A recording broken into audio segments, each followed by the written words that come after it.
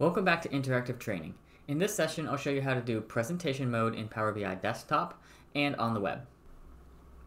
The best way to show presentation mode is in Power BI Service. Make sure you've published your report to Power BI Service before taking any of these steps. It's pretty simple. Click on the drop down on the menu on View, and you're going to either select Fit to Page or Fit to Width. I like Fit to Page, and then change it to full screen. That's going to set up presentation mode where you have filters on the side as well. In Power BI Desktop, there isn't a way to show presentation mode, but you can clear a lot out of the screen. In this case, I'm going to click on View and unshow my filters. That adds some space to the view. I can collapse visualizations, data, and make my menu smaller.